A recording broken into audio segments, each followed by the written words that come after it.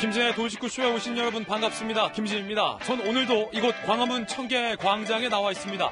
밤 사이에 내린 많은 비로 한탄천이 범람을 해서 철원의 일부 마을이 완벽하게 물에 잠겼습니다. 주민들은 대피했고요. 어, 그리고 철원, 파주 주민들도 일제히 현재 대피를 한 상황입니다. 어, 서울과 송파, 탄천이 범람 위기에 어, 현재 처해 있는 상황이라고 합니다. 이 지역 주민들도 어, 주의 깊게 뉴스를 보셔야 될 것 같고요. 서울 전 지역에 강풍주의보까지 현재 내려진 상황입니다. 잠시 후에 폭우 피해 상황 전해드리겠습니다. 저는 비가 오나 눈이 오나 매일 아침 이곳에서 여러분을 기다리겠습니다. 김지의 돌직구쇼 지금 라이브로 시작합니다. 잠깐만요.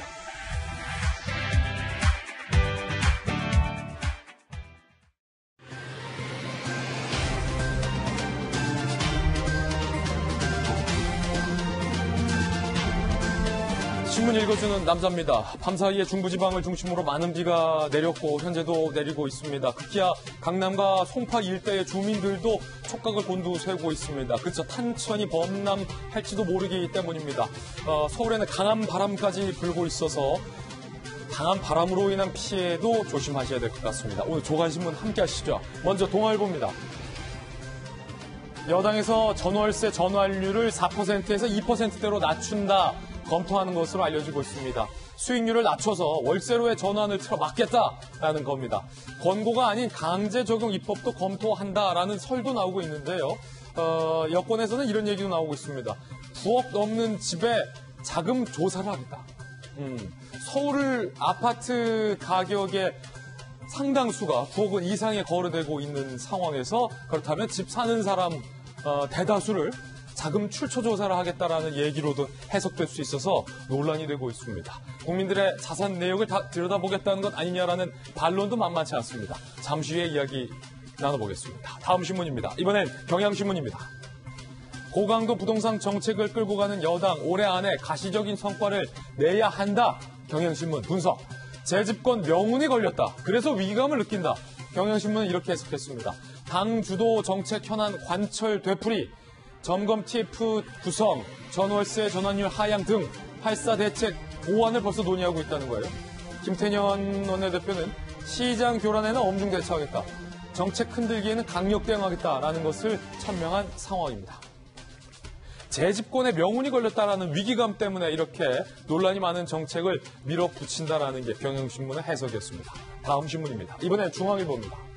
동학개미 파워 코스피 22개월 만에 최고치 외국인 기관 매도에 4,297억 원을 매입했다. 삼성바이오는 7% 올라서 시총 3.15 광충 뛰었다라는 얘기입니다. 주식뿐만이 아닙니다. 금값도 계속 오르고 있고요. 부동산 값은 엎친 데 덮친 격으로 계속 오르고 있습니다. 부동산, 금, 주식 세 개가 오르고 있습니다. 다음 신문입니다. 이번엔 조선일보입니다. 베이루트 하늘에 버섯 구름, 거리엔 시신 가득, 핵 폭발 같았다. 레바논의 항구 도시 베이루트에서 초유의 폭발 사고가 발생을 했습니다. 이렇게 말입니다. 원자 폭탄의 어, 구름 모양을 연상시키는 폭발 구름이었습니다. 연기였습니다. 어, 수, 수많은 시민들이 사망을 했고 트럼프 대통령은 한때 공격 아니냐라는 설을 제기해서 국제사회가 깜짝 놀라고 있는 상황입니다. 다음 신문입니다. 이번엔 한국일보입니다. 원피스가 어때서 유시민 백바지 17년 만에 또 국회 복장 논란. 정의당 류호정 의원이 보이시는 것처럼 어, 붉은 체크 원피스를 입고 국회에 등원을 했는데 본회의를 참석했는데 어, 비판의 성희롱 댓글이 달리고 있답니다. 부적절한 내용이죠. 국회의 반응도 잠시 후에 살펴보겠습니다.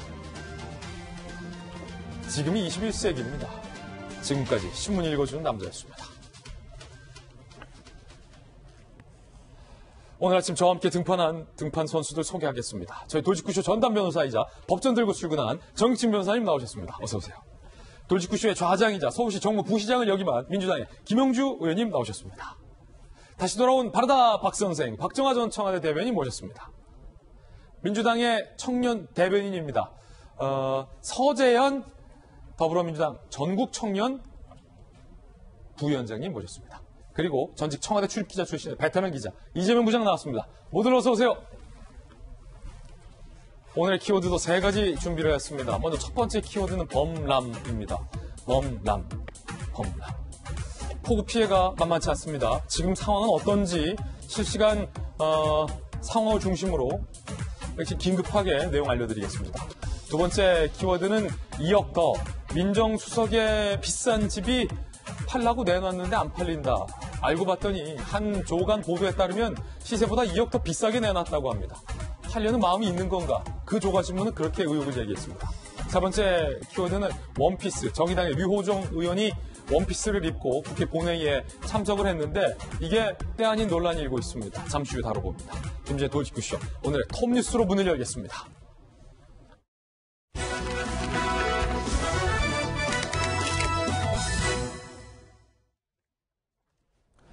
네, 톱뉴스 주제부터 공개하겠습니다. 바로 이겁니다. 계속되는 물폭탄, 서울도 패닉이다라는 상황입니다.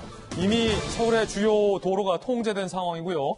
어, 최전방, 연천, 파주, 그리고 서울 강남 주민들까지 범람을 해서 대피를 하거나 범람 어, 위기에 처해 있는 지역이 상당히 많습니다. 현장 연결해서 알아보겠습니다. 한강 상류 댐들의 방류량도 늘어나면서 서울 시내 주요 도로, 도래 통조, 도로 통제 구간도 늘고 있는데 지금 허용 캐스터 잠시교에 나가 있는데요. 현재 서울 시내 상황은 어떻습니까? 네, 이곳 잠수교의 비는 대부분 잦아들었지만 바람이 다소 강하게 불고 있습니다. 어제 밤사이 비가 많이 내리면서 한강물도 무서울 정도로 빠르게 차오르고 있는데요. 제 옆에 보이는 이 표지판이 모두 가득 찰 정도로 현재 한강물이 빠르게 불어오르고 있습니다. 현재 잠수교의 수위는 10m를 넘어서면서 차량 통행 제한 기준인 6.2m에서 4m나 더 올라 있습니다. 팔당댐과 소양강댐에서 방류량이 늘면서 서울 주요 도로 곳곳에 통제도 늘고 있는데요. 어제 밤부터 올림픽대로 동작대교에서 염창나들목 구간 양방향이 통제됐고 오늘 새벽부터 강변불로 원효대구 북단에서 의사협회 진입로, 동부간선도로는 군자교에서 성수분기점 구간과 수락 지하차도에서 성수분기점 양방향이 전면 통제됐습니다. 내부순환로 성수분기점 방향, 마장에서 성동분기점 구간도 통제되고 있고요. 양재천 영동 1교와 우면교 하부도로 양방향도 전면 통제되고 있습니다. 또 어제에 이어 잠수교, 여의 상류와 하류 나들목, 개화 육관문도 현재까지 통제 중입니다. 주요 도로뿐만 아니라 서울 강남구와 송파구에 호주의, 홍수주의보가 내려지면서 하 천과 한강공원 통제도 이어지고 있습니다. 앞으로 추가 통제가 이어질 수 있어서 교통 혼잡이 우려되는 만큼 가급적이면 대중교통을 이용하시는 게 좋겠습니다. 지금 뭐 거의 주요 도로 대다수가 일부 통제가 됐다라고 보면 될 것 같은데 바람이 많이 불어요. 오늘 날씨는 어떻습니까? 네, 현재 강한 비구름대는 중부지방에 중심되고 있습니다. 지금 가장 많은 비가 내리고 있는 경기와 전북 지역을 중심으로는 시간당 최고 30mm 이상의 장대비가 쏟아지고 있고요. 서울과 경기, 충청과 경북 북부에는 현재 호우경보가 내려진 상태입니다. 오늘 오전까지 중부와 호남 지역을 중심으로 강한 비가 예보되어 있는 만큼 오늘 비 피해 없도록 각별히 주의하셔야겠습니다. 네, 비와 함께 강한 바람도 비상입니다. 대부분 지역에 강풍주의보가 내려진 가운데 모레까지 초속 최고 16m의 매우 강한 바람이 이어질 텐데요. 초속 16m의 바람이 불면 우산을 쓰고 있기가 힘들고 또 벽에 붙은 간판이 떨어질 수 있는 정도입니다. 시설물 관리와 안전사고에 각별히 유의하시길 바랍니다.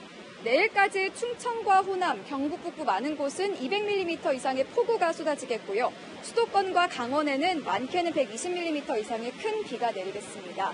네, 이번 주 일요일까지 제주도를 제외한 전국에 비 소식이 있고요. 서울과 경기 또 강원 영서는 다음 주 후반까지 비가 길게 이어질 전망입니다. 지금까지 서울 잠수교에서 채널A 뉴스 허유원입니다.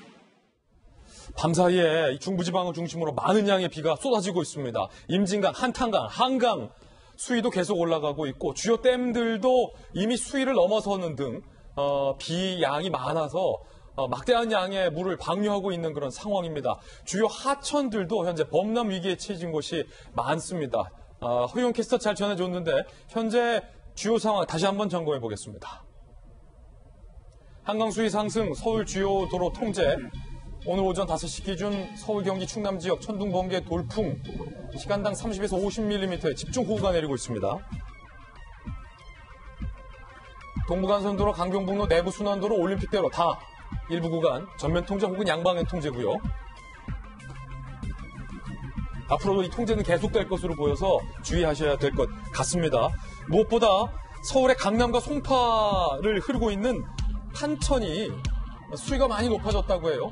그래서 어, 홍수주의보 일대에 현재 발령이 나온 상황입니다. 오늘 오전 5시 50분 서울시는 인근 강남 송파 주민들에게 주의를 요구했습니다. 서울 탄천 대교동 일대 홍수주의보 발령, 범람을 할 수도 있다는 겁니다. 서울 지역의 하천 18곳에 현재 보인자 출입은 전면 통제된 그런 상황입니다. 자, 어, 사실 서울보다 더 심각한 곳은 연천, 파주, 철원 어, 이쪽 일대에 있는 주민들입니다. 잠시 후에 현장에 있는 기자 연결해서 점검해 보겠고요. 이재명 기자. 일단은 현재 서울 지역의 출퇴근 길이 상당히 복잡해지고 있어요. 회사에서 가까운 곳에서 출근하는 우리 출연진도 평소 30분 올 거리가 뭐 1시간 10분. 왜냐하면 주요 도로들이 지금 꽉꽉 막혔어요. 통제되고. 예, 조금 전 허유원 캐스터도 대중교통을 이용해달라 이렇게 당부를 했지만 지금 한강 수위가 급격히 높아지면서 한강 주변에 있는 간병분로, 올림픽대로, 동부간선도로, 내부 순환도로 순환도. 전부 다 지금 일부 구간들이 다 통제되고 있습니다. 일부 구간이 통제되면 당연히 다른 데의 정체도 심각해지겠죠. 그런 점에서 지금 뭐 대중교통을 이용하는 게 제일, 제일 좋을 것 같고 무엇보다 이제 이게 단순히 그냥 교통의 체증 문제가 아니라 언제 한강이 수위가 더 높아져서 그럼요. 지금 알다시피 소양강대를 비롯해서 한강 수계에 있는 14개 댐이 모두 방류하고 있는 상황이기 때문에 언제 수위가 높아져서 또 어떤 사고가 날지 모르기 때문에 가급적이면 한강 주변의 도로를 이용하지 않는 게 좋지 않을까 이런 생각이 들고요. 조금 전에 얘기하신 것처럼 지금 강남, 송파 지역에 있는 탄천도 좀 홍수주의보가 오늘 오전 5시 50분에 긴급 안전 문자로 발령이 됐습니다. 그런 만큼 하여튼 각 지역에서 지금 한강 수위가 굉장히 급격하게 빠르게 어, 상승하는 만큼 홍수 그리고 어떤 안전 안전에서 각별히 좀 주의해야 되지 않을까 생각이 듭니다. 이제 강원도 철원에서는요, 특히 한탄강이 결국 범람을 했습니다. 그래서 여러 마을이 완전히 물에 지금 잠겨 있는 상황인데 어, 수많은 주민들이 대피를 했고요. 마을회관 등지에서 뜬 눈으로 밤을 지새웠습니다. 현장을 연결해 보겠습니다. 자, 현장에 있는 강경무 기자, 현재 지금 상황은 어떻습니까? 네, 다행히 현재 천원 지역은 빗줄기가 많이 약해졌습니다. 하지만 지난 엿새 동안 강한 비가 계속되고 있어 긴장을 늦출 수는 없습니다. 지금까지 내린 비의 양은 철원장은 755mm를 비롯해 춘천 신북 554.5mm 등입니다. 8월 내내 이어진 호우로 어제 오후 둑이 무너지면서 한탄강이 범람했습니다. 이 때문에 철원 동성읍 이길리 마을이 완전히 물에 잠겼습니다. 주민 60여 명이 인근 초등학교와 고지대 등으로 대피했는데요. 소방당국은 보트까지 동원해 마을에 고립된 주민을 구조하기도 했습니다. 이 밖에 인근 다른 마을 세 곳도 침수돼 주민 250여 명이 대피한 상태입니다. 임진강 지류인 용강천도 범람이 우려되면서 인근 마을 주민 150여 명이 인근 초등학교로 대피했습니다. 주택 50여 채가 파손되거나 침수됐고 축구장 350배가 넘는 260헥타르의 농경지가 물에 잠긴 것으로 집계됐습니다. 다급, 다급 히 몸을 피한 주민들은 대피소에서 뜬 눈으로 밤을 지샜습니다. 대피 생활의 어려움보다는 물이 빠지고 난 뒤 복구해야 할 집 걱정이 더 큽니다. 설상가상으로 내일까지 최대 120mm의 비가 더 예보돼 추가 피해도 우려되는 상황입니다. 지금까지 강원 철원군에서 전해드렸습니다. 걱정입니다. 우리 철원군의 근처에 있는 많은 주민들이 현재 지금 대피를 했고, 어, 평생을 살던 집과 또 비닐하우스 등이 물에 잠긴 상황입니다. 어, 얼마나 걱정이 많을까요? 시름은 얼마나 깊으실까요? 한탄강이 범람했기 때문입니다. 그 부분 짚어보겠습니다. 한탄천 범람, 호수가 된 철원마을, 강원 철원군 지난달 31일부터 어, 670mm가 넘는 물폭탄, 한 해 평균 강수량의 절반가량이 저 내려진 상황이고요. 내린 상황이고요. 어, 우리 기자가 방금 잘 얘기했듯이 철원의 장흥 같은 경우는 755mm 내릴 정도로 많은 양의 비가 내렸습니다.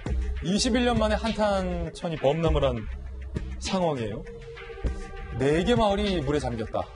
주민 780명이 현재 긴급 대피한 그런 상황입니다. 이 철원 지역에 한탄강이 범람을 하면서 물에 잠긴 장면들도 저희가 긴급히 좀 취재를 했습니다. 어, 한탄강뿐만 아니라 철원을 포함해서 그리고 연천, 충남 천안, 또 파주 등등 비 피해가 많은 곳들의 피해 영상 함께 보시죠.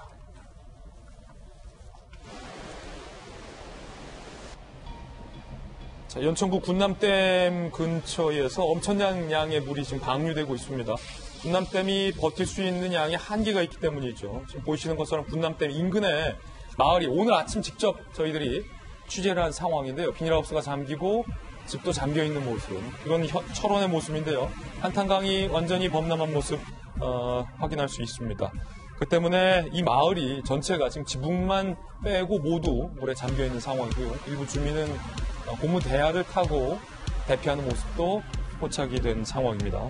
엄청나게 불어난 물로 농장까지 피해를 입힌 상황이고 이게 도로인지 하천인지 구분이 안 갈 정도의 심각한 비 피해 상황을 입고 있습니다.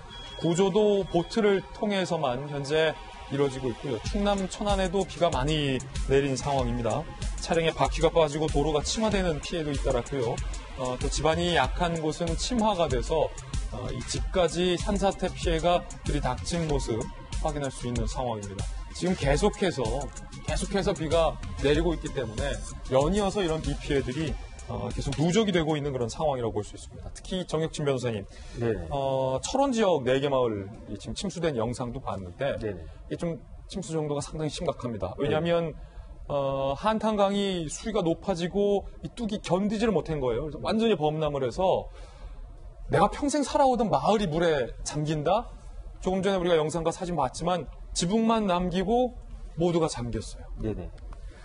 이게 한탄천이에요. 한탄강의 상류예요. 한탄강이 철원부터 이렇게 흘러가지고 밑으로 내려가지 않습니까? 원래 한탄강이 굉장히 수심이 깊은데 폭이 좁아가지고 유속이 굉장히 빠른 그런 강이거든요. 예. 그래서 일반적으로는 한탄강에서 뭐 래프팅하다가 사고가 나든지 유속이 빠르니까 그런 일들이 많았는데 한탄천이 범람한 경우는 사실은 굉장히 드물었어요. 음. 가장 최근에 한탄천이 범람한 게 99년이니까 1999년. 벌써 20년 전이란 말이죠. 예. 그런데 왜 이렇게 한탄천이 범람을 했을까? 닷새 동안에 무려 700mm 가까운 물폭탄. 그러니까 1년 전체 한 1400mm 정도가 내리는데 아, 이게 원래 지금 이 장면이 마을이었다는 거잖아요. 그렇죠. 예. 그래가지고 지금 뭐 780명의 4개 마을이 침수가 됐다라고 하니까 어마어마한 건데 99년에도 그때 침수가 됐을 때 그 당시 기준으로 재산 피해만 100억 가까이 났다고 그랬거든요. 99년에도. 네, 20년 전에. 그러니까 이번에 아마 피해 규모는 그때보다도 훨씬 더 큰 것이 아닌가 싶고 그나마 다행인 것은 그 인명 피해는 아마 아직 없는 것처럼 보여, 보여져가지고 그래서 인명 피해가 없는 것은 다행이지만 어쨌든 그 수해 복귀하는 데 있어서 복구하는 데 있어서 그 각계에서 많은 도움이 필요하지 않을까 그런 생각이 듭니다. 예, 한강의 홍수 조절의 최후 보루로 불리는 댐이 있습니다. 바로 소양강 댐입니다. 그런데 이 소양강 댐도 견딜 수 있는 한계치가 다다른 것 같습니다. 최후 보루 소양강 댐마저 한강 홍수 조절의 최후 보루 소양강 댐이 집중 폭우로 홍수기 제한 수위를 초과한 상황입니다. 이미 어제 오후 3시경에 2017년 8월 이후 3년 만에 25개를 모두 개방한 상황이고요. 1초당 810톤의 정말 거대한 양의 물이 방류되고 있고요. 어, 한강 수위가 이 때문에 계속해서 높아질 전망입니다. 자, 보세요. 영상 한번 볼까요? 자, 지금 3년 만에 어, 한강 수위 조절의 최후 보루인 소양강 댐이 모든 수문이 개방되는 모습 확인할 수 있습니다. 현장의 소리도 좀 같이 들어보면서 영상 한번 보시기로. 자, 이 소리만 들어도 얼마나 많은 양의 물이 방류되어 있는지 이게 다 한강으로 쏟아져 내려오는 물입니다. 근데 문제는 이미 많은 양의 비가 내려서 댐들이 저장할 수 있는 물의 수위를 이렇게 초과를 해서 방류를 하고 있는 상황인데 방류를 함에 동시에 많은 양의 비가 또 내리고 있단 말이에요. 그렇기 때문에 이 방류로 인한 한강 수위도 올라가고 있는데 동시에 비도 내려서 한강 수위는 뭐 계속해서 가속해서 올라갈 것으로 예상이 되고 있습니다. 한강을 따라서 흐르는 서울과 수도권의 수많은 아, 이 하천의 지류들도 따라서 범람을 할 가능성, 홍수 피해의 우려까지 현재 제기되고 있는 그런 상황이라고 표현할 수 있겠습니다. 자, 박정화 대변인, 지금 소양강 댐이 방류되는 모습, 어, 한강 수위가 높- 높아진다. 그런데 비는 다음 주에도 계속 온다.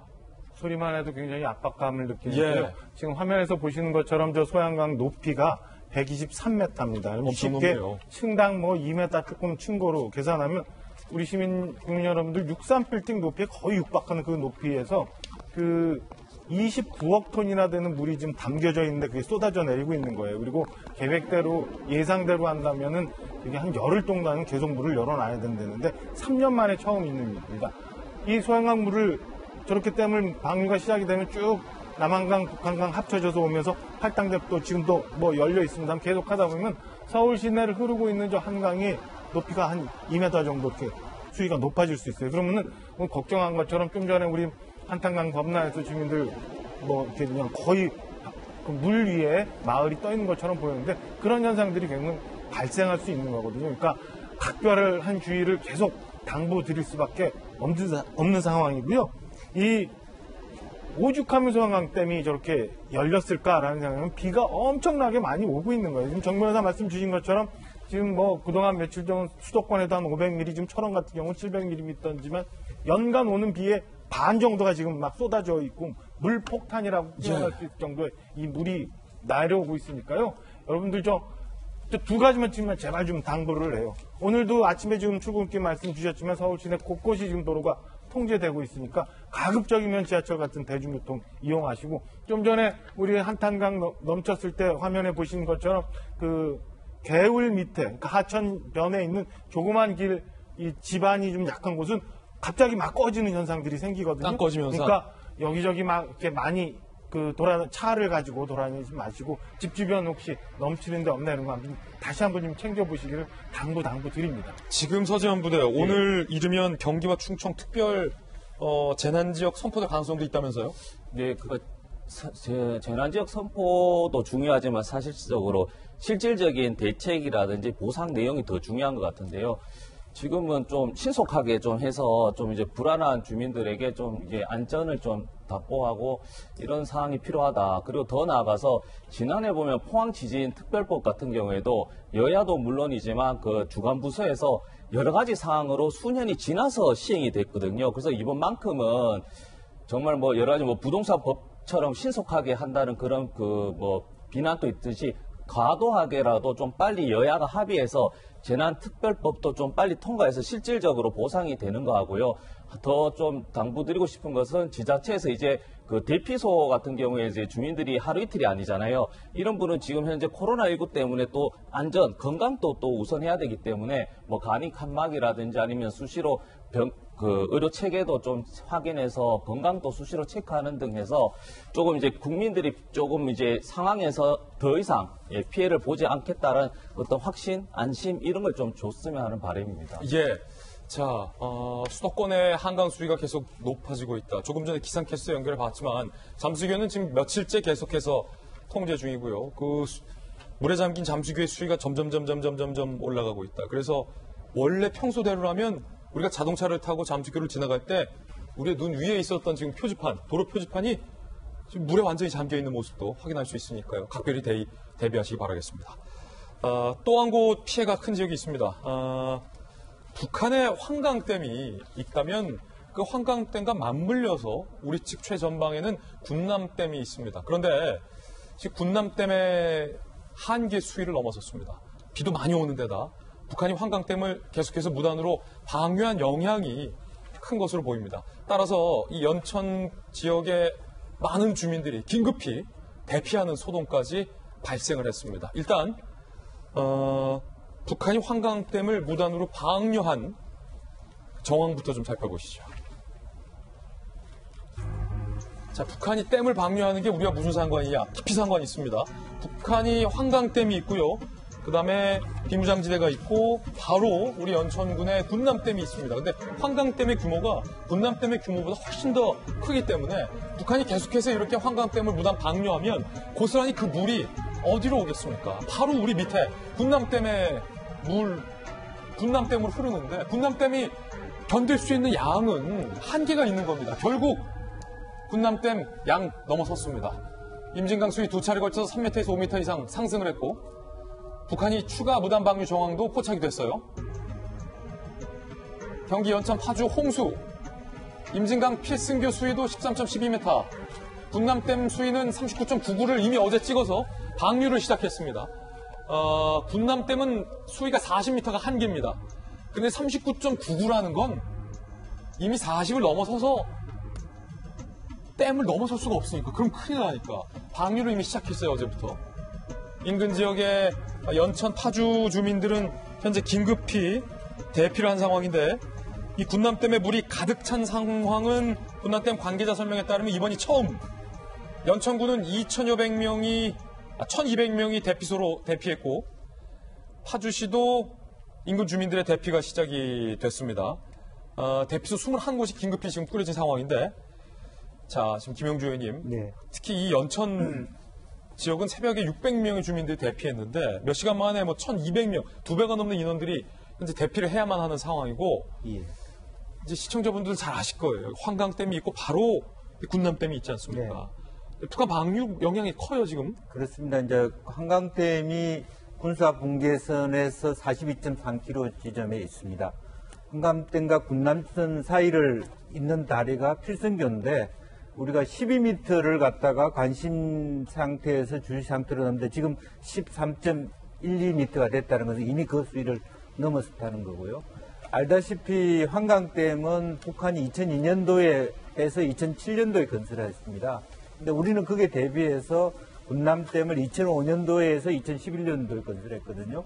근데 2009년도에 큰 말하자면 무단 방류로 인해서 말하자면 연천 주민들이 6명 사망하는 사건이 있었어요. 그때 2009년 9월 달에 그 일이 있고 2009년 10월 달에 우리가 남북이 북한이 한강댐 물을 방류할 때는 반드시 한국 쪽, 남한 쪽에 통보한다는 합의를 본 적이 있습니다. 그런데 지금 그런 것이 없이 방류를 했고 그 방류 사실을 우리 군이 알아서 한수원에 통보한 사실이거든요.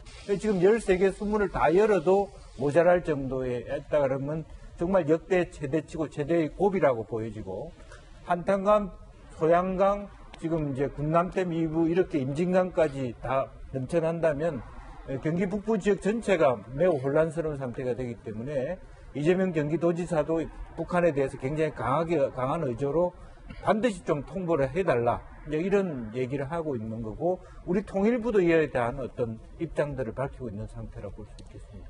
의원님. 이게 사실은 그 유럽도 굉장히 긴 강들이 있고 동남아도 긴 강들이 있잖아요. 그러니까 상류 지역과 하류 지역의 나라별로 다 이 그 홍수 때 물의 영향을 많이 받는데 꼭 이 환강댐은 남북 관계에 있어서뿐만 아니라 국제 규범에도 사실은 이게 방류하기는 통보를 해주게 되어 있거든요. 예. 그러니까 어, 이런 부분에 있어서는 뭐 남북 관계가 경색돼서 북한이 뭐 통보를 안 해주고 이런 거 넘어서 진짜 국제 규범을 좀 지키는 그런 나라로서 북한이 좀 통보를 해주고 미리 대처할 수 있게 좀 해줘야 되는 게 온당하다는 생각입니다. 예, 지금 현장 상황을 좀 기자들한테 전해드리면 군남댐의 수위가 어제부터 방류를 했는데도 계속해서 40m 찰랑찰랑 수위를 유지하고 있다. 그 말은 흘려 보내도 계속해서 비가 많이 오고 있다는 거예요. 네. 그리고 북한에서 계속해서 물이 지금 들어오고 있다는 얘기인데 우리 두분 어, 의원님 말씀 주셨듯이 이재명 기자. 지금 우리 통일부가 아무리 어, 남북 관계가 지금 경색돼 있고 연락이 단절돼 있다 하더라도 사실 이인영 장관 여러 논란 끝에 임명이 됐을 때 이럴 때 북한에 대해서 제대로 한마디 하라고 국민들은 통일부 장관에게 기대하고 있을 텐데 며칠 전까지만 하더라도 통일부는 남일 보듯이 입장을 내서 많은 언론의 질타를 받기도 했지 않습니까? 꼭 뭐 통일부가 아니더라도 우리 정부가 아니면 청와대가 얼마 전에 뭐 특사도 보냈잖아요. 연결 끊겼다고 하더라도 특사 보내도 되냐 의사 타진도 했는데 음, 무단 방류하지 말라고 좀 강력하게 정권 차원에서 북한에게 좀 강력하게 경고하고 좀 통보를 해야 되는 거 아닙니까? 그렇죠. 이건 뭐 통일부 차원의 문제가 아니라 정부 예. 차원에서 당, 어, 당당하게 얘기를 할 필요가 있죠.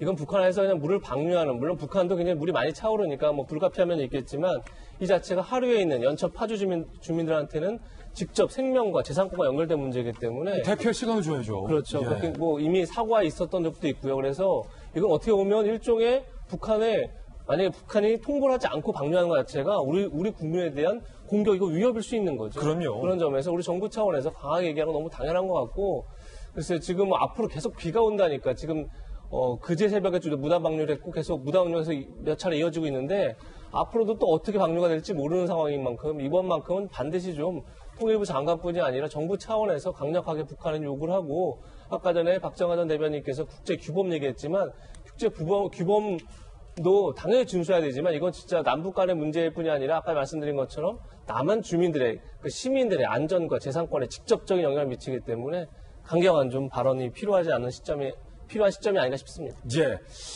자, 어, 이 물난리 상황 전해드렸습니다. 이번엔 저희가 준비한 두 번째 이슈입니다. 거세지는 압박 꿈쩍하는 윤. 여권에선 윤석열 총장에 대해서 물러나라는 압박이 어제도 계속됐습니다. 직접 들어보시죠. 이제 윤석열 총장은 물러나야 합니다. 문재인 정부를 독재와 전체주의라면서 검찰총장직에 있다는 것은 독재와 전체주의의 대열에 함께 한다는 것과 무엇이 다릅니까? 차라리 문재인 정부의 검찰총장직에서 물러나서 본격적인 정치의 길로 들어서는 것이 현명할 것입니다. 독재라고 얘기를 했잖아요. 통합당이 어시스트를 한 거다. 예. 근데 이런 식으로 하면 안 되죠, 공무원이. 이제 뭐100% 정치를 하는 건데, 예. 내가 집행권을 갖고 있는 사람이 정치하면요, 예. 그 피해가 엄청납니다. 자, 윤석열 총장의 독재와 전체주의를 배격해야 한다. 신임 검사들을 상대로 한 발언. 어, 적어도 이 두 분의 여당 의원들은 이 발언이 신임 검사들에게 한 어떤 원칙적인 발언이 아니라 문재인 정부를 향한 경고라고 해석을 한 것 같습니다. 박정현 대변인, 고 말했다고 물러나야 한다라는 건가요? 글쎄요, 뭐 모르겠어요. 제가 그러니까 모든 말이라는 게 듣는 사람에 따라서 좀 해석이 달라질 수 있잖아요. 저 말에 저는 뭐 들으면서 아 그렇게 해석될 수도 있겠다라고는 했습니다만은 검찰총장으로서 법을 집행해야 되고 어, 사회악을 단죄해야 되는 신임 검사들한테 총장으로서 충분히 할 수 있는 원론적인 얘기일 수도 있다라는 해석이 조금 더 가거든요. 근데 저기에 뭐가 이렇게 그 뭐 절인 게 있는 건지 이렇게 반응을 하는지 잘 모르겠습니다. 사실은 근데 윤석열 총장에 대해서는 금- 작년 말 뭐 추미애 법무장관이 임명되는 순간부터 사실은 저런 압박들이 계속되어 왔잖아요. 뭐 이미 수석들 다 잘리고 검찰총장으로서 충분한 역할이나 기능을 할 수 없을 정도로 국가 시스템을 지금 여당에서 망가뜨리고 있는데 글쎄 언제까지 저런 식으로 몰아갈 생각인지 잘 모르겠어요. 근데 한 가지 분명한 거는 윤석열 검찰총장은 현 민주당 정부에서 추천해서 임명해서 인사청문회를 거친 그런 검찰총장이에요. 뭐가 두려워서 저렇게 자꾸 얘기하는지 저는 아무리 아무리 생각해도 이해가 안 가고요. 왜 좀 전에 뭐 김정민 의원은 뭐 공직자가 저렇게 정치를 하면 어 피해는 국민들이 본다라고 얘기하는데 글쎄요 너무 한쪽에 치우쳐서 정치가 한쪽 방향으로 몰아가는 면은 저는 공직자의 말이 어떻게 나가고 어떻게 해석되느냐보다도 훨씬 더 국민들한테 많은 피해를 직접적으로 줄 수 있다는 걸 본인들도 한번 생각해 줬으면 하는 그런 바람이 들었습니다. 예. 정혁진 변호사님, 사실은 어, 여권에서는 이제 물러나라, 사퇴하라라는 압박과 요구를 공개적으로 하고 있는 그런 상황인데 어, 독립기관이잖아요. 검찰총장이 독재와 전체주의를 배격해야 한다라는 상식적인 발언을 해서는 안 될 발언이었습니까?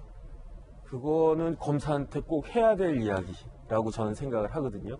왜냐하면 이제 검사 임관식이 아니었고요. 그때 있었던 게 처음에 검사가 임관을 갖다가 하면 누가 임명을 하느냐? 대통령이 임명을 해요. 그러면 대통령이 직접 일일이 검사들한테 임명장 줄 수는 없으니까 법무부 장관이 법무부에 불러가지고 임관식을 갖다 두시에 한 거예요. 그리고 나서 이제 검찰총장이 검사들 데리고 쓰는 사람이니까 신고를 갖다가 받는 거거든요. 그러니까 신고식이거든요. 그러니까 추미애 장관이 법무부 장관이 임용할 때 임관한 검사들한테 뭐 이러이러하게 검사들 힘을 갖다가 절제해서 잘 해라. 그 이야기나 그 검사가 검사들은 뭐라고 이야기하냐면요. 제가 보기 좀 웃기긴 한데 사회에 거악을 척결하는 사람이 있다라고 이야기를 해요. 예. 우리 검사들은 사회의 거악을 큰 악을 척결하는 사람이다. 그렇게 이야기를 갖다가 하니까 법대로 법의 지배에 따라 가지고 잘 하자 이 이야기를 갖다 한 건데 그게 뭐 잘못된 건지 저는 사실은 잘 모르겠고요. 그 다음에 이제 만약에 지금 여당 국회의원 보고 지금 그 임기 아직 한 3년 남아 있잖아요. 3년 넘게 남아 있지 않습니까? 그만두라고 그러면 기분 좋겠어요? 그 국회의원 임기는 헌법에 의해서 4년으로 보장된 것처럼 검찰총장의 임기는 검찰청 법에 따라 가지고 2년으로 보장이 되어 있는 거거든요. 왜 남의 임기 가지고 뭐 이렇게 저렇게 이야기를 하는지 좀 납득이 안 간다 이런 생각이 듭니다. 당권 주자도 윤석열 어, 때리기에 나섰습니다. 김부겸 후보의 이야기 들어보시죠. 검찰총장이 그냥 원론적인 이야기 한마디 한 거 아닌가요? 자꾸 그렇게 반응을 하면 할수록 윤 총장이 마치 무슨 대단한 정치적 지도자인 것처럼 자꾸 그래야 되지 않아요? 지금 추미애 법무장관이 지금 혼신의 힘을 기울여서 그 문제를 정상화하려고 지금 하고 있지 않습니까? 추 장관이 그 정도는 난 정리를 할 거로 보는데요. 추 장관이 정리할 것이다 라는 발언도 나온 셈인데요. 어, 이 발언 국회를 오래 출입했던 이재명 기자 추 장관이 그 정도 문제는 쉽게 정리할 것이다.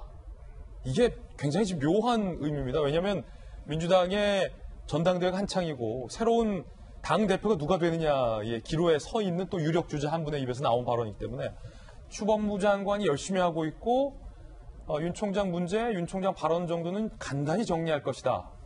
앞서 민주당 의원님들의 발언을 들으면 물러나라, 물러나라, 사퇴하라, 정치해라. 추 장관이 간단히 정리한다. 무슨 뜻일까요? 글쎄요, 근데 아마 이제 지금 서른 최고위원이 지도부에서 처음으로 사퇴를 공식, 곡식적으로 밝혔지만 실제 지도부 차원에서 뭐 그 문제를 굉장히 공론하고 있다. 저는 이렇게 보지는 않습니다. 그러니까 그렇게 하는 것 자체가 아까 정혁진 변호사도 얘기했지만 어쨌든 검찰총장을 이 정부에서 임명을 했고 2년이나 임기제가 보장돼 있고 하는 상황에서 여당 지도부가 나서서 일제히 뭐 물러나라. 사실 물러나려고 그러면 뭐 명백한 범죄행위라든지 뭐가 있어야죠. 뭐 명백한 사유가 있어야 되는데 지금 그 발언 자체는 논란의 해석에 차이가 있을 뿐이죠. 아니, 설사, 설사 여권에서 반발하는 것처럼 윤 총장이 현 정부를 향해서 독재와 전체주의다. 라는 의미로 말을 했다 한들, 물러날 사유가 되느냐는 좀 논란이죠. 그 논란일 수 있지만 만약에 총장이 이제 현 정부를 두고 현 정부가 독재라고 했다 이렇게 하면 사실 논란은 굉장히 커지겠죠. 근데 예. 그날 발언을 그대로 보면 자유민주주의를 하는 것은 민주주의의 허울을 쓴 독재와 그리고 전체주의를 배격하는 게 자유민주주의다. 굉장히 원론적인 얘기죠. 그래서 그 자유민주주의는 법의 지배로 어, 완성되는 것이다. 신임 검사들한테 그렇기 따- 때문에 법에 따라서 엄정하게 대처해야 된다 우리는 라는 얘기를 했다는 것이 사실 보기에 따라 다를 수 있지만 말만 딱 말만 딱 듣고 나면 굉장히 어떻게 보면 당연, 당연하고 자연스럽고 사실은 어, 검찰총장이 신임 검사들에 강조하기에 전혀 부족함이 없는 그런 말이죠. 그런 점에서 저 말만 가지고 지도부가 일제히 나서서 여당에서 물러나라 한다고 참 무리가 있는 거죠.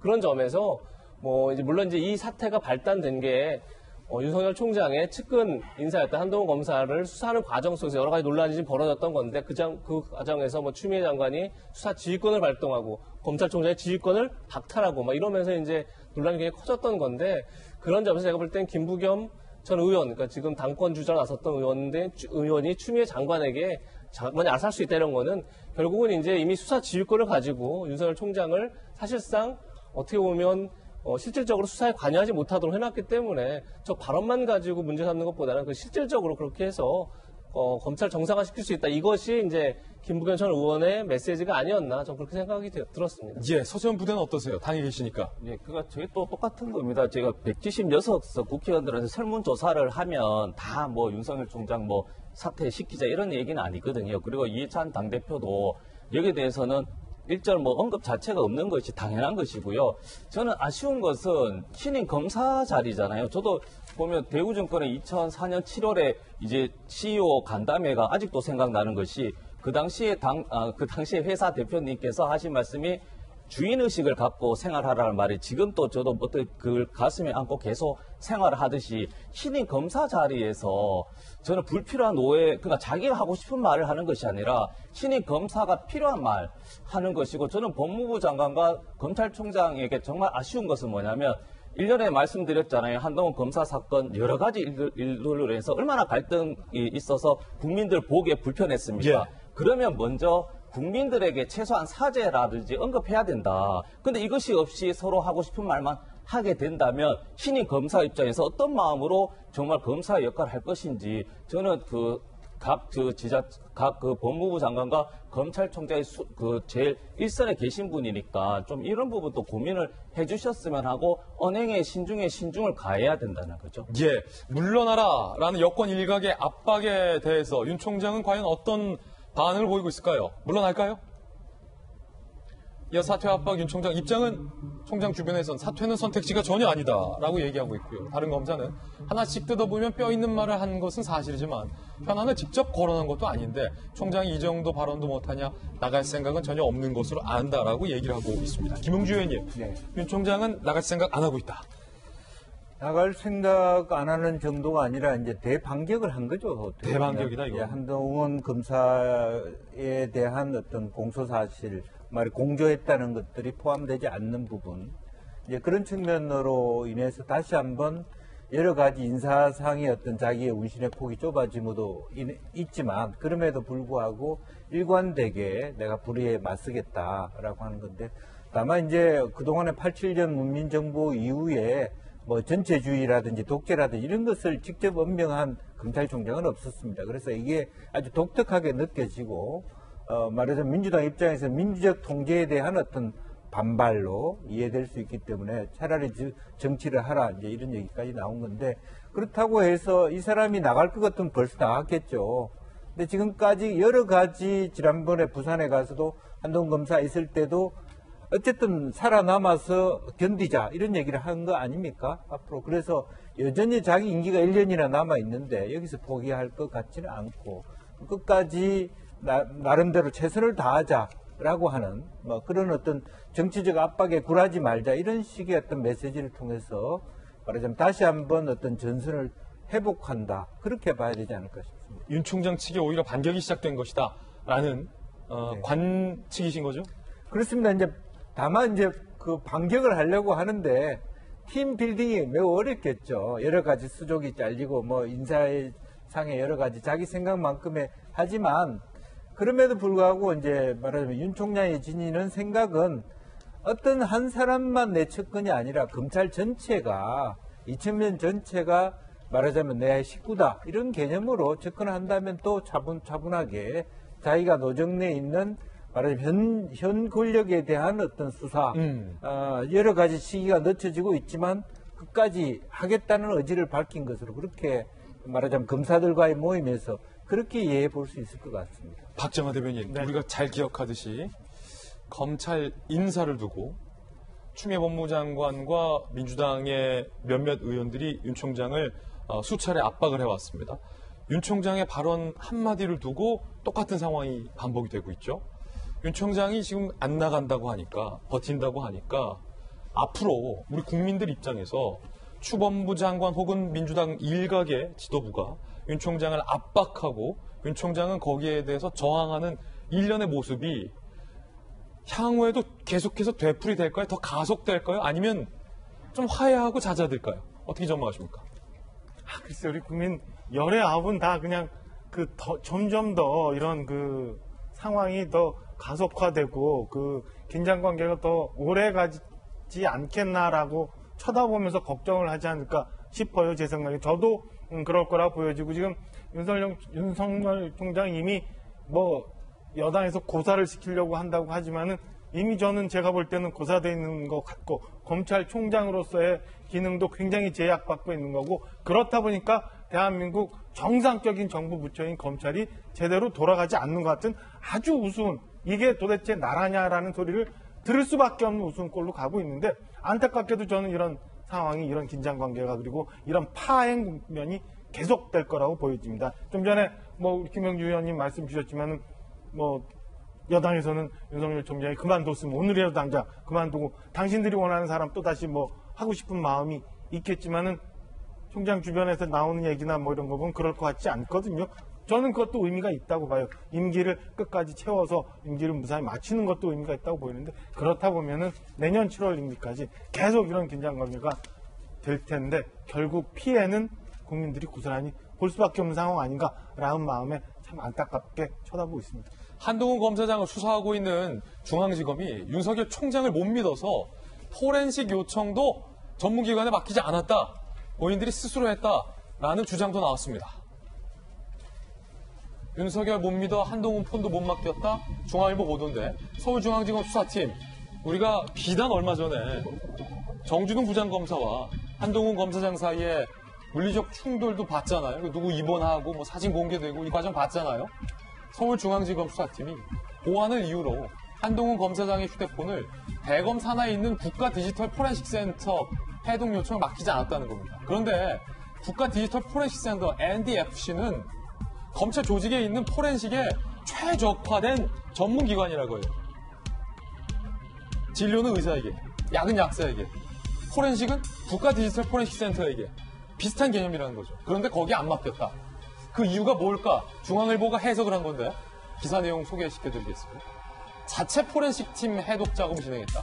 그런데 중앙일보 취재에 따르면 중앙지검 자체 포렌식 팀은 대검 장비보다 성능도 떨어지고 해독만 수개월 걸린다. 결과적으로 디지털 포렌식을 해야 뭐가 있는지 없는지 여부를 들여다볼 수 있는 기회가 생기는데 그 기회를 만드는 것조차 스스로 늦추고 있다는 얘기가 되는 겁니다. 중앙일보 보도가 사실이라는 검찰 관계자는 한동훈 검사장이 윤 총장 측근이라 대검 NDFC를 부신하는 것으로 알고 있다. 믿을 건 아이폰 포렌식 결과밖에 없을 텐데 수사 의지가 있는 걸까 의문이 든다. 라고 얘기했고요. 서울중앙지검 수사팀은 한 검사장의 기소를 앞두고 증거 보강이 다급해지자 그제 오전 대검 NDFC에 이제서야 포렌식을 의뢰했다. 그제 오전에서야 NDFC 국가 디지털 포렌식 센터에 맡기지 않고 그제서야 맡겼다는 부분. 네. 물론 이건 중앙일보의 어, 중앙일보의 취재고 중앙일보의 해석이에요. 네. 실제로 보면 이제 저는 이제 분석하는데 장비로서 뒤떨어진다는 측면도 하나 있습니다만은 그 말하자면 국가 디지털 포렌식 센터가 갖고 있는 큰 특징 중에 하나는 이것이 증거로서의 능력이 있느냐를 굉장히 살핍니다. 아 그렇습니까? 절차적 정당성. NDFC 압수할? 때, 예, 예. 어. 그렇기 때문에 과연 이제 중앙지검에서 그렇게 말하자면 압수한 증거 자체에 대한 정당성을 스스로가 이걸 저쪽에 넘겨서 이것이 증거로서 퇴짜 맞을 가능성에 대해서도 고민했다는 부분이 하나 있는 거죠.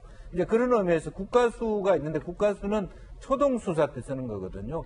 이 지금 국가 디지털 포렌식 센터는 증거로 확보하고 증거로 제출하기 위한 용도로 쓴단 말이에요. 그렇기 때문에 단순한 분석도 최적화돼서 빨리 할 뿐만 아니라 증거로서 입증될 수 있을 만한 어떤 어떻게 확보했고 그렇게 그런 기록에 철저한 것이 국가 포렌식 센터로 알고 있습니다. 그래서 그런 부분에 대하여 지금 현재 중앙지검의 수사팀이 명명백백하게 자신 있게 그것을 내놓을 수 있느냐 이제 그런 고민들이나 회의를 했을 가능성도 저는 있다. 이제 뭐 개인적인 의견입니다만 예. 그런 생각이 듭니다. 개인적 견해입니다. 자, 그런가 하면 검찰 인사를 앞두고 법무부에서 총장의 의견을 청취했다라는 얘기도 들어와 있습니다.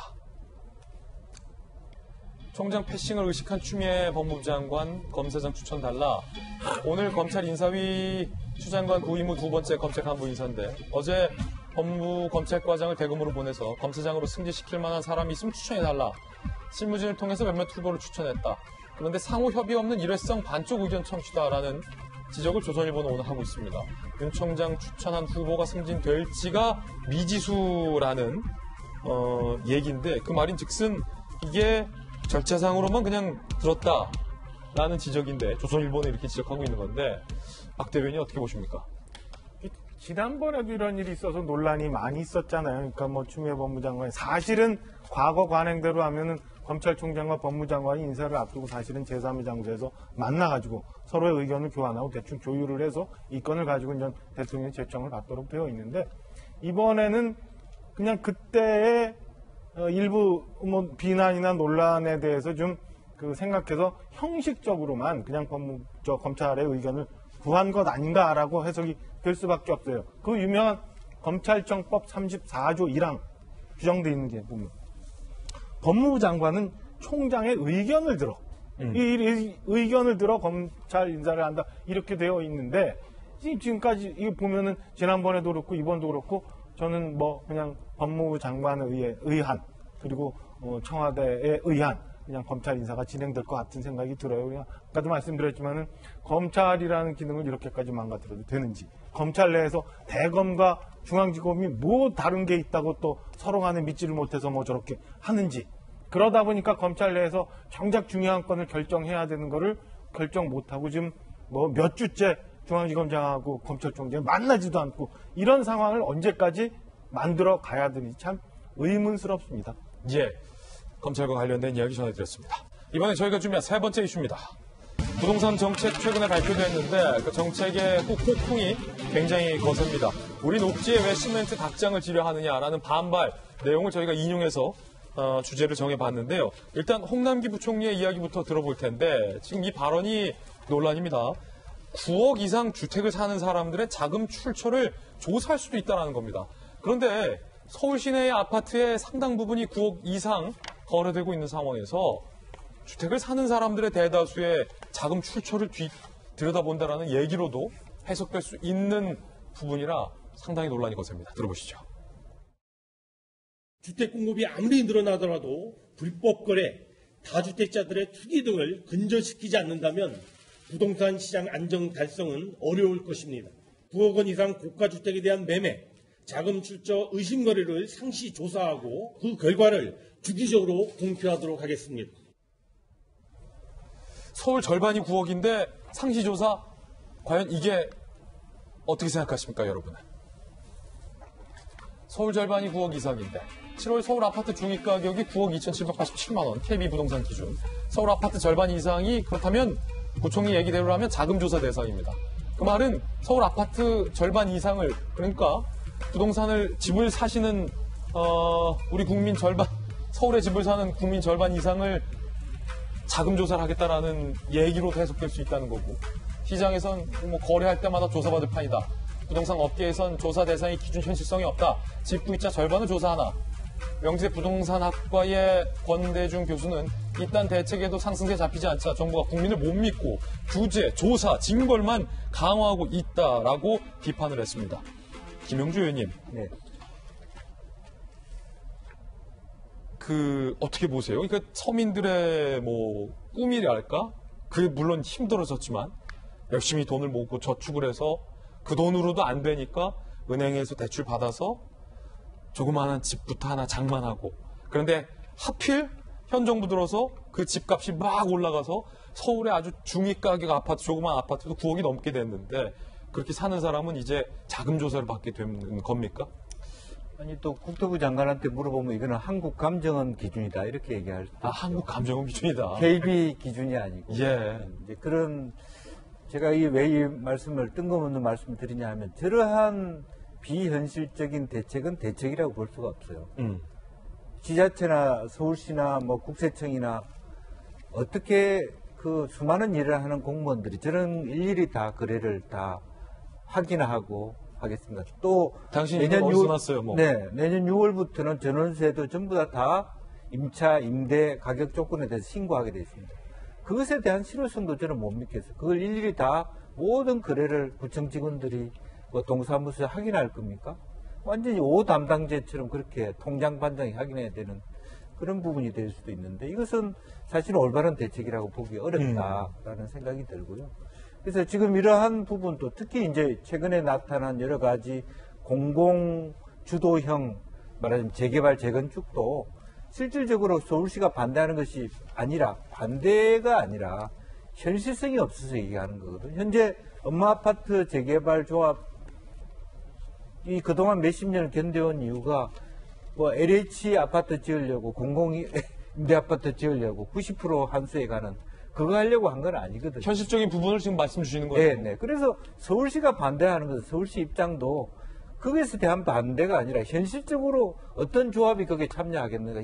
말하자면 지금 국토부나 기재부가 한 것은 전체 가능성의 20%만 봤다고 하지만 20% 내지 5%도 안 된다. 이것도 잘 해봤자 5년, 6년 뒤에 있을 공급 대책인데. 현실성이 없다. 예, 차라리 오히려 그냥 민간한테 맡겨서 민간한테 맡겨서 일정 부분 민간과 합의하에 지나친 수익에 대해서 뭐 일정 정도 비율을 말하자면 다시 받아서 그걸 공공임대주택으로 한다든지 뭐 1인 말하면 거주자를 위한 어떤 주택 대책으로 쓴다든지 재원 확보를 한다든지 그런 것이 훨씬 공공주택의 그 수를 늘리는 데 기여하지 지와 같은 계속 규제하는 상태로 가면 결국 그것은 일순간에 다시 무위로 돌아갈 수도 있다. 그런 생각을 하게 됩니다. 예.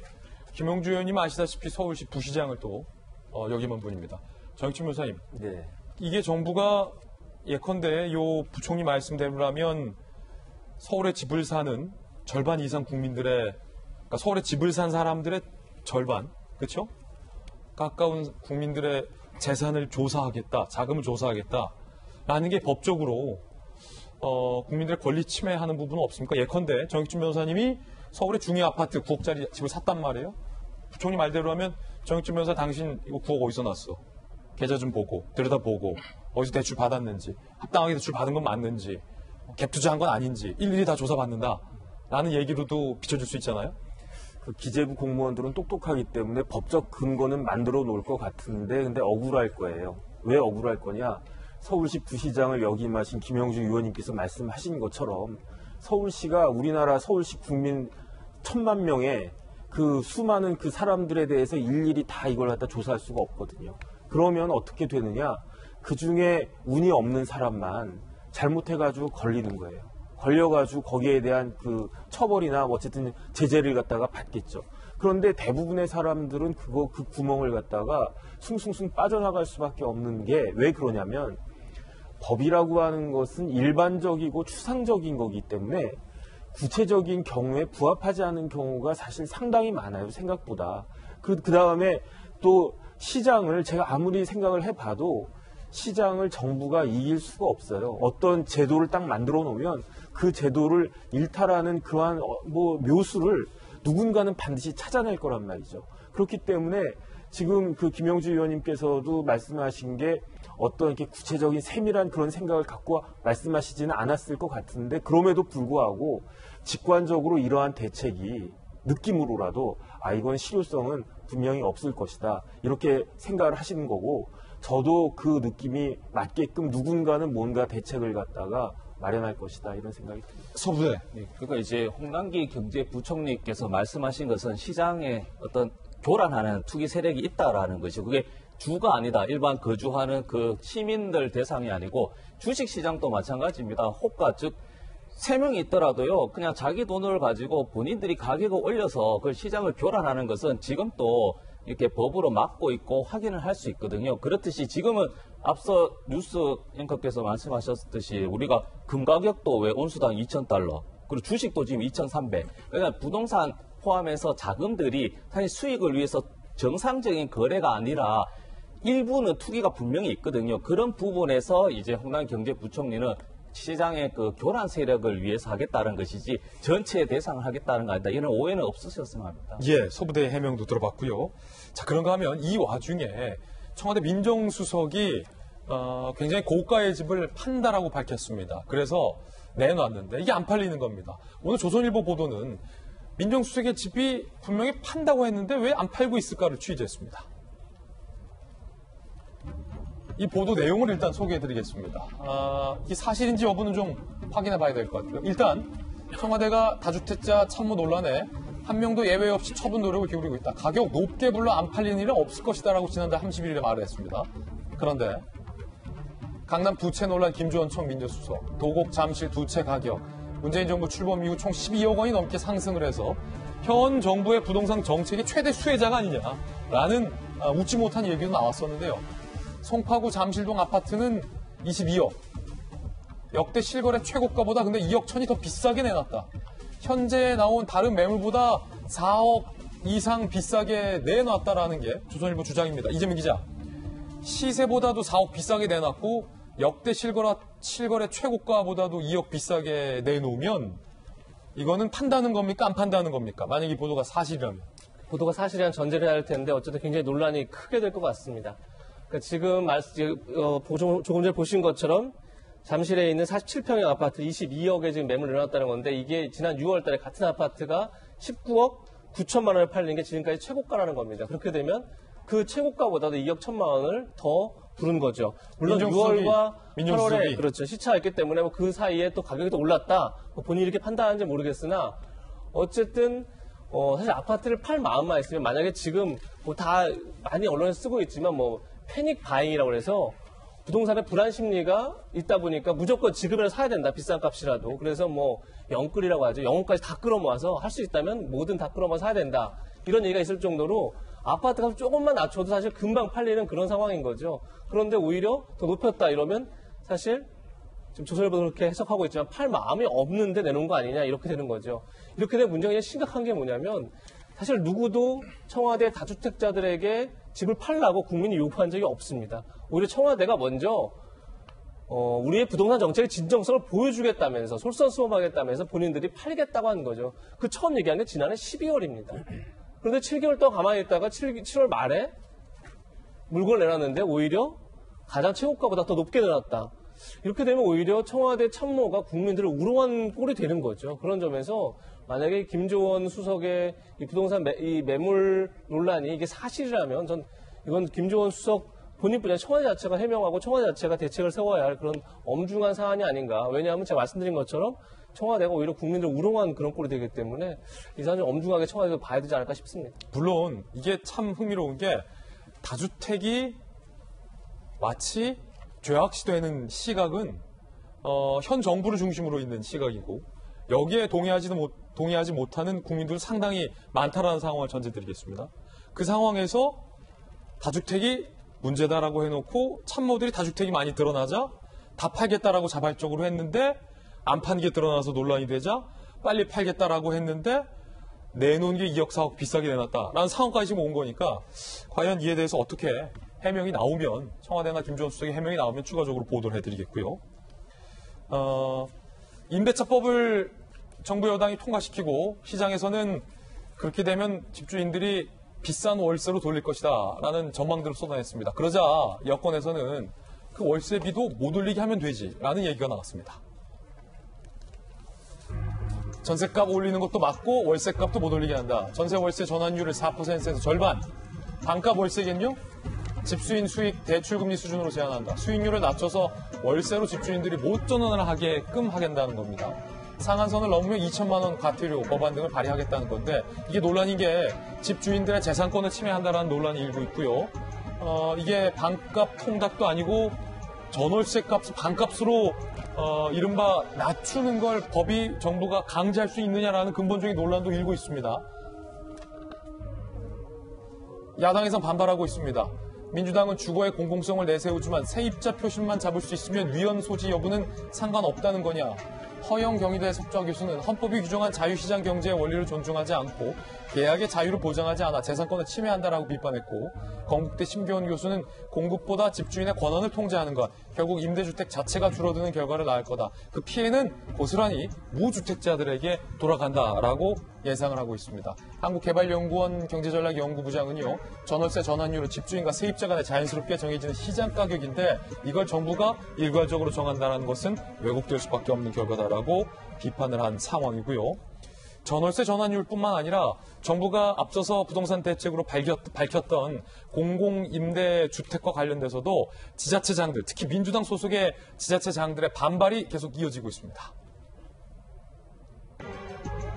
우리가 봉이냐? 민주당 소속의 과천시장 김종천 시장은요 청사 앞마당에서 천막을 쳐놓고 거기서 진물을 보는 천막 시위를 하고 있습니다. 어, 김종천 시장의 주장은 이렇, 이렇습니다. 강남 집값 잡겠다며 왜 우리 과천을 대리모로 이용하겠냐라는 주장이고요. 정부가 계획을 철회할 때까지 나는 천막에서 진물을 계속할 것이다 라고 민주당 소속의 김종천 과천시장이 천막 시위를 하고 있습니다. 서울 강서구청장 민주당 소속의 노현송 구청장은요. 전체를 임대 분양하는 것은 주민 반발로 수용할 수 없다라고 반대하고 있고요. 유동균 서울 마포구청장 민주당 소속인데 강남 집값 잡겠다고 마포구민을 희생양 삼는 일방적인 발표를 묵고할 수 없다라고 비판하고 있습니다. 주민들도 부글부글. 노원 구민들은 오는 9일 집회를 예정했다. 강남은 그린벨트고 우린 임대벨트냐. 노원 구민 무시하는 처사에 분노한 구민 500여 명이 집회에 참가할 거다. 국민청원도 등장을 한 상황이고요. 돈 주고 목살, 못살 녹지에 시멘트로 꽉 채운 닭장 같은 1만호가 되느냐라며 반발을 하고 있다고 합니다. 저희 채널A 돌직구 쇼가 오늘 아침에 과천시를 다녀왔습니다. 과천 청사 앞 마당에 어, 이렇게 시장이 직접 쳐놓은 시위 천막이 설치되어 있는 모습입니다. 김종천 과천시장은 어젯밤부터 저기서 진물을 보다가 수해 현장을 지금 간 상황이고요. 어, 좀 휑하고 좀 황량하죠. 저곳에서 과천시장이 이제 시위성으로 계속 진물을 보겠다. 과천 정부 청사에 마련된 아, 과천 시청 청사에 마련된 시청 청사에 안 들어가겠다.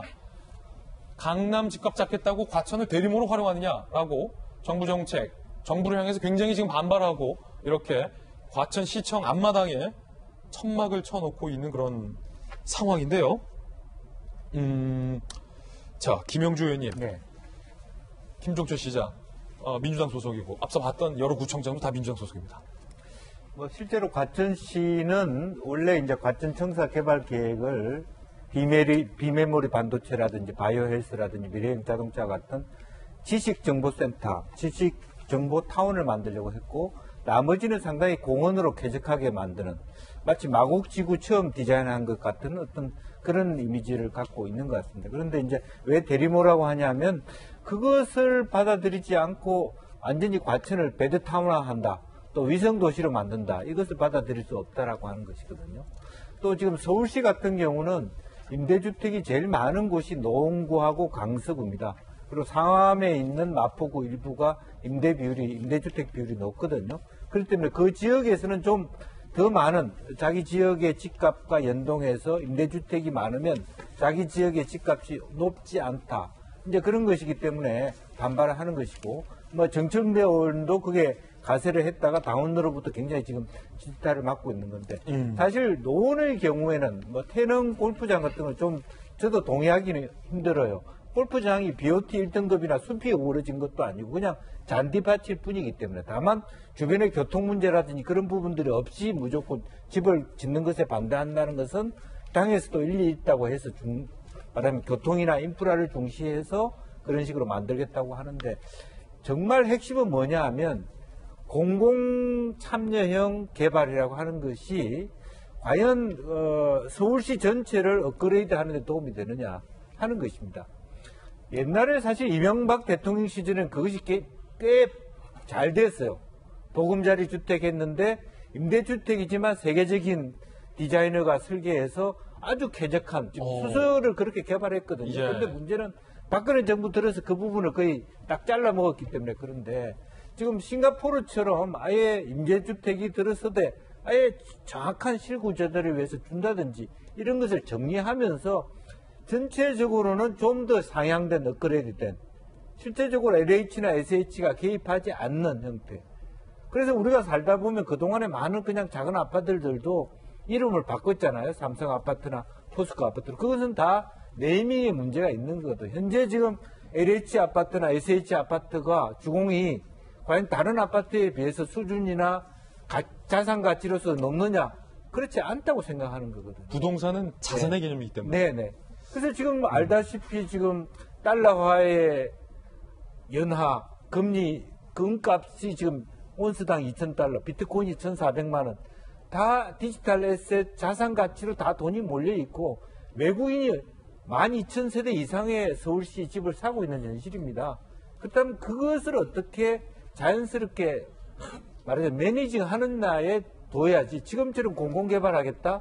서울시가 솔직히 찬성할 수가 없어요. 능사가 아니다. 뭐, 뭐, 사회주의 아파트 짓는 거하고 비슷한 그런 형태로 가서는 안 된다는 거예요. 사회주의 아파트 짓는 걸로 비슷하게 가서 안 된다. 공공임대율이 높다는, 건 물론 OECD 비율에 비해서 뭐, 이미 높, 높아져 있습니다. 10% 가까이 됐다. 그런 의미에서 저런 부분을 민비 현상으로만 볼 것이 아니라 시 전체의 격조, 또 정말 민간인 중심의 시장 중심의 주도성이라고 하는 차원에서 받아들일 필요가 있다는 생각입니다. 예. 친문 지지자들에 의해서 정청래 의원도 집중 포화를 받고 있다는 부분도 오늘 기사로 보도되고 있습니다. 자, 반발을 했죠, 정청래 의원이. 그러자, 왜 당론에 따르지 않느냐. 흑수저 출신이라더니 상암동 임대 아파트가 불편하냐.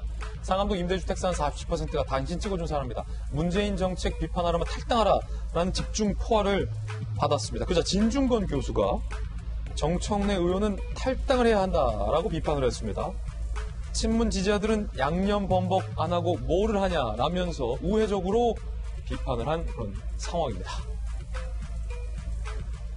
네, 그 사실은 이게 지방 정부 자치 시대에서 이제 지자체장은 당연히 최우선 과정은 이제 주민들의 안전과 어떤 재산권 보호도 있는 것이죠. 그렇지만 이제 이것이 자칫 이제 님비 현상 말씀하셨듯이 이렇게 보이면은 어떻게 보면 주민들도 그런 의도가 아닌데 오해받으면 그게 지자체장으로서도 그게 그 선량한 목적에 위배되는 것이기 때문에 제 입장에서는 그 협의할 수는 없는 사항은 다 일리가 있으면 이제부터 합의하고 협의하면 되는 것이다. 그래서 우리는 지역에 무조건 오- 올 수는 없다. 이렇게 할 수는 없는 것이고요. 앞서 말씀드렸지만 만약에 임대주택으로 인해서 재산 가치가 떨어질 우려가 있으면 디자인이라든지 이렇게 해서 저도 뭐저 이제 뭐 유흥국 같은데 유학을 가서 한번 보니까 벽돌 색깔이 다 동일합니다. 그리고 페인트도 색깔도 동일해요. 왜 확인해 보니까 지자체가 그 그걸 규제 개념보다는 도시 디자인 해서 재생 이런 걸 다 포함해서 관리를 한다는 것이거든요. 그러면 포- 상암도 마찬가지로 디지털 미디어 센터에 맞게 미디어 세대 주택 이렇게 하면 된다는 것이죠. 그래서 조금 그 간격은 지금은 넓다. 하지만 이걸 좁힐 수 있는 노력도 지자체장이 해야 할 의무다라는 거죠. 예, 서재헌 부대 반론까지 들어봤습니다. 이번엔 저희가 준비한 다음 순서입니다. 오늘 핫플인데요. 어떤 분들이 핫플에 선정됐을지 만나보시죠. 정의당의 류호정 의원이 본회의장에 이렇게 체크 빨간 원피스를 입어서 논란이 되고 있고요. 레바논의 항구 도시 베이루트에서 폭발 사고가 발생해서 두 번째 핫플로 준비했습니다. 먼저 류호정 의원의 분홍 원피스 어, 장면 함께 보시면서 이야기 이어가겠습니다. 국회 본회의장에 류호정 의원이 이렇게 체크 무늬에 어, 짧은 원피스를 입고 회의에 참석을 한 겁니다. 이 사진이 보도가 되자 일부 네티즌들을 중심으로 어, 굉장히 좀 불편하다라는 비판과 함께 부적절한 비난까지 달리고 있는 상황이라 이게 정치권에서 어, 논란이 되고 있는 상황인데요. 정의당 대변인은 이 논란과 관련해서 이렇게 얘기했습니다. 성차별적인 편견을 담고 있다는 점에서 강력히 유감을 표합니다. 여성 정치인의 외모, 이미지로 평가함으로써 정치인으로서의 자격 없음을 말하려고 하는 행태에 결코 동의할 수 없습니다. 원피스를 입은 게 문제시 되는 작금의 현실에 유감을 표하며 지금은 2020년임을 말씀드립니다. 자, 류호정 의원은 왜 이런 원피스를 입고 논란을 자초했는지에 대한 부분도 나와 있습니다. 함께 보시죠. 내 원피스에 쏟아진 공격 보통 여성들의 일상이다. 일 잘할 수 있는 옷을 입었을 뿐 국회의 권위가 영원히 양복으로 세워지는 게 아니다. 라고 얘기했고요. 복장이 아니더라도 50대 중년 남성으로 가득 찬 국회가 과연 시민들을 대변하고 있는가? 언젠간 공론화 됐어야 할 일이다. 이렇게 긁어부스럼을 만드는 게 진보 정치인이 할 일이다라고 얘기를 한 상황입니다. 어, 일단은 국회 반장 출신인 이재명 기자 2021년이다. 지금은 정의당 대변인이 이렇게 얘기했는데 일각에서는 어, 국회에 대한 어떤 뭐 존중의 뜻으로서 복장도 좀 엄숙해 하는 건 아니냐라는 비판도 있고 옷이 뭔 상관이냐 일만 잘하면 되지라는 옹호론도 많습니다. 국회 반장 출신은 어떻게 보세요? 글쎄, 저희도 국회를 나갈 때 사실 다 양복을 입습니다. 왜냐하면 대로 만나는 이제 의원들이 다 양복을 입고 있기 때문에 사실 양복을 입는데, 글쎄, 거기에서 권리가 만들어진다. 저도 그 부분에 좀 동의하기 쉽진 않아 보입니다. 그리고 의원이 20대입니다. 그러니까 92년생이니까 이제 28이죠. 만 나이가 28이고, 국회의원 중에 유일한 20대 국회의원입니다. 저는 20대 국회의원이 저는 너무나 20대다운 복장을 하고 국회에 나왔습니다. 그 자체를 문제 삼는 게 저는 적절한 그런 생각이 들고, 어떻게 보면 뭐 진중권 교수도 그런 얘기를 합니다. 이건 복장의 문제가 아니라 그 복장을 바라보는 시선의 문제다 이렇게 얘기를 하는데 제가 볼 때도 뭐 국회의 권위가 양복으로 세워지지 않는다는 어, 류호정 의원의 주장에도 어느 정도 동의할 수 있을 것 같고 물론 이제 국회라는 공간 자체가 어떻게 보면 국민을 대, 대신해서 거기에서 모든 걸 논의하고 또 가장 국가의 중요한 법을 만들고 하는 공간이기 때문에 분명히 건의가 있어야 되고 또 그 안에서 논의가 굉장히 엄숙해야 하는 건 틀림없지만 그것이 복장으로 어, 규정되는 건 좀 문제가 있다. 오히려 그 발언들과 거기서 이루어진 행태에 대해서 문제인 거지. 그래서 그런 점에서 전 이 복장이 갑자기 이렇게 뜨거운 문제가 되는 것 자체를 저도 사실은 좀 이해하기 쉽지 않은 그런 상황입니다. 예, 이 논란이 일자 류호정 의원이 입었던 원피스가 이게 완판이 되는 일까지 벌어졌다고 합니다. 이게 8만 원대 제품이라고 합니다. 자, 이 쇼핑몰에 어, 일시 품절이 떴고요. 어, 패턴 뭡니까? wrapping, wrap형, wrapping형 원피스. 랩형, 패턴 랩형 일, 원, 일시 품절. 8만 8천 원 제품인데, 어, 이제 20대들이 쉽게 쉽게 살 수 있는, 어, 좀 간편한 복장, 간편한 가격, 어, 편안한 원피스, 약간 뭐, 자, 그런 원피스인데, 완판이 됐다. 서주현 부대. 이 또 청년 저기 아닙니까? 예, 전국 그렇죠. 청년위원회 부위원장. 그렇죠. 예. 그러니까 저는 사실 이게 한번 확인해 보니까 2040 세대 청년들이 이제 청년 다방이라고 하는 모임을 가져서 그게 창립총회가 8월 3일이에요. 그때 입은 옷이 저 옷입니다. 그래서 거기서 나온 이유는 8월 4일날 본회의가 있을 때 우리가 이 옷을 그대로 입고 한 이벤트성으로 좀 청년답게 한번 해보자. 그런 의도라고 설명을 하고 있어요. 근데 저는 이게 사실은 뭐 언론 탓을 한번 해보고 싶은 게 예전에 그 17년 전에는 사실은 유시민 그 백바지라고 하죠 의원 그때는 사실 국회의원들이 문제 제기를 굉장히 많이 했습니다. 그렇지만 지금에서 저도 그렇고 전혀 자연스러운 것이고 그 당시에 본회의 참석했던 그 어느 국회의원들도 문제 제기를 하지 않고 너무 보기 좋다 이렇게 얘기했고요. 저는 아쉬운 것이 사실은 8월 5일 날 청년 기본법이 시행일이거든요. 그러면 저런 모습을 보면 요정 의원이 청년이기 때문에 실질적으로 어두운 청년의 지금 모습을 저렇게 분홍색 원피스로 미래를 좀 밝게 하고 싶은 청년 의원의 어떤 그런 상징성이라고 좀 보도를 해주셨으면 좋았을 텐데 일부 댓글에 어떤 혐오성이라든지 이런 기- 이게 집중되다 보니까 저 이제 입은 원피스 가격하고 그게 이슈화 돼버려서 이게 이슈 메이커인지 아니면 트러블 메이커인지 굉장히 좀 아쉬운 부분이 많다는 거죠. 예, 서재현 부대 또 일리 있는 지적까지 들어봤고요. 두 번째 앞으로는 레바논의 항구 도시 베이루트에서 폭발 사고가 났습니다. 그 영상 함께 보시죠. And then suddenly we heard a very loud explosion. The buildings, all the glass just went down. It was raining glass all over the city of Beirut. 사고 현장하고는 좀 제가 몇 킬로 떨어져 있는데요. 폭탄 터지는 소리는 들렸었고요. 그래서 몇 시간 동안 이제 귀에서 웅웅한 그 소리가 들린 거죠. إنه إنه يشبه ما حصل باليابان بهيروشيما وناكازاكي هيك هذا يذكرني ما شفت بحياتي دمار بهالكبر وبهالوسع وبهالنكبة هيدي نكبة وطنية